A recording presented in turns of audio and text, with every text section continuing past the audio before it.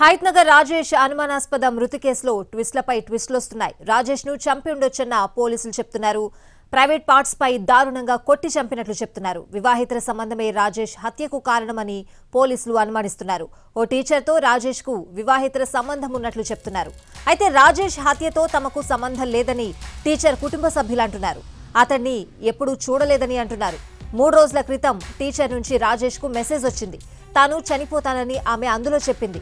నువ్వు చనిపోతే నేను కూడా చనిపోతా అంటూ రాజేష్ మెసేజ్ చేశాడు.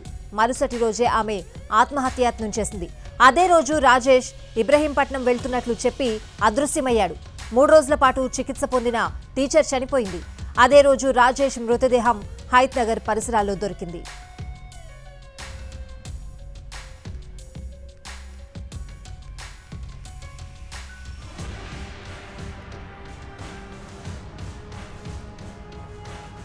హైత్ నగర్ రాజేష్ అనుమానాస్పద మృతి కేసులో ట్విస్ట్లపై ట్విస్ట్లు చోటు చేసుకుంటున్నాయి. రాజేష్ను చంపి ఉండొచ్చని పోలీసులు చెప్తున్నారు. ప్రైవేట్ పార్ట్స్ పై దారుణంగా కొట్టి చంపినట్లు చెప్తున్నారు.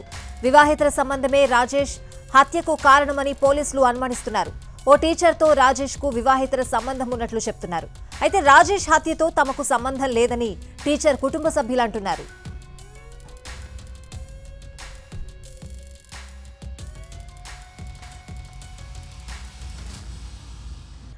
అసలు రాజేష్ మృతికి సంబంధించి పోలీసుల అనుమానాలేంటి? ఏం చెప్తున్నారు? పూర్తి వివరాలు అడిగి తెలుసుకుందాం మా ప్రతినిధి. రాధాకృష్ణ లైవ్లో సిద్ధంగా ఉన్నారు.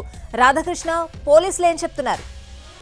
ప్రస్తుతం అయితే పోలీసులు ఈ కేసులో దర్యాప్తు కొనసాగిస్తున్నారు. ఇప్పటి వరకు ముగ్గురిని అదుపులోకి తీసుకొని ఒకవైపు విచారిస్తున్న పరిస్థితి మనకు కనబడుతుంది. ప్రధానంగా ఈ కేసుకు సంబంధించిన అంశంలో రాజేష్ ది ముందుగా ఆత్మహత్యగా భావించారు. కానీ ఆ తర్వాత దర్యాప్తులో ఇది ఆత్మహత్య కాదు హత్యగా నిర్ధారించడం జరిగింది. ఎందుకంటే అతన్ని విచక్షణ రహితంగా కొట్టిన తర్వాతనే అతనికి పురుగుల మందు తాపించి మరీ హత్య చేసినట్లుగా భావిస్తున్నారు. అలాగే ఆ సీన్ ఆఫ్ అఫెన్స్లో కూడా అతను ఆత్మహత్య చేసుకున్నట్లుగా క్రియేట్ చేశారు. అక్కడ బట్టలు కూడా పక్కకు పడేయడం షూస్ తీసి మరొక ప్రాంతంలో పడేయడం ఇలాంటివన్నీ కూడా కేసును పక్కదారి పట్టించేందుకు చేసినట్లుగా కూడా భావిస్తున్నారు పోలీసులు. అదే కోణంలో ప్రస్తుతం అయితే దర్యాప్తు కొనసాగుతుంది. దాదాపు చుట్టుపక్కల ప్రాంతంలో ఉన్న వందకు పైగా కూడా సీసీ కెమెరాలు మొత్తం కూడా పరిశీలించడం జరిగింది. ఇందులో ఒక ముగ్గురు యువకులు ఉండొచ్చు అనేది ఒకవైపు అనుమానం వ్యక్తం చేస్తూ ఉన్నారు. అలాగే ఈ కేసుకు సంబంధించిన అంశంలో సుజాత భర్త కూడా చెప్తున్నాడు.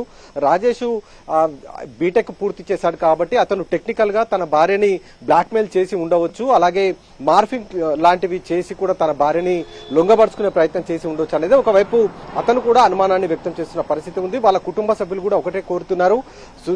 సుజాత ఆ, టీచర్ సంబంధించిన సెల్ ఫోన్ ఏదైతే ఉందో ఈ సెల్ ఫోన్ మొదటి నుండి ఆమె ఎప్పటి నుండి అయితే సెల్ ఫోన్ వినియోగిస్తుందో అప్పటి నుండి దానికి సంబంధించిన కాల్ డేటా మొత్తాన్ని కూడా సేకరించాలి. అప్పుడే ఈ మొత్తం కేసులో అసలు విషయం వెలుగులోకి వస్తుంది అనేది ఒకవైపు చెప్తున్న పరిస్థితి అయితే మనకు కనబడుతుంది. మరొక వైపు నాలుగు టీంలు ఈ కేసులో దర్యాప్తు చేస్తూ ఉన్నాయి. అసలు ఈ కేసులో ఇతన్ని హత్య చేసిన తర్వాత టీచర్ ఏ విధంగా ఆత్మహత్య చేసుకోవడం జరిగింది? ఆమెను కూడా ప్రేరేపించారా? లేకపోతే ఆమెనే ఆత్మహత్యకు పాల్పడిందా అన్న కౌనంలో కూడా ప్రస్తుతం అయితే దర్యాప్తు చేస్తున్నారు. కొద్దిసేపటి క్రితమే ఆమెను ప్రైవేట్ ఆసుపత్రి నుంచి ఆమెకు సంబంధించిన డెడ్ బాడీని మార్చురికి తరలించారు. రేపు పోస్ట్మార్టం పూర్తయిన తర్వాత కుటుంబ సభ్యులకు డెడ్ బాడీ అప్పగించే అవకాశం అయితే మనకు కనబడుతూ ఉంది రైట్ రాధాకృష్ణ థ్యాంక్ యూ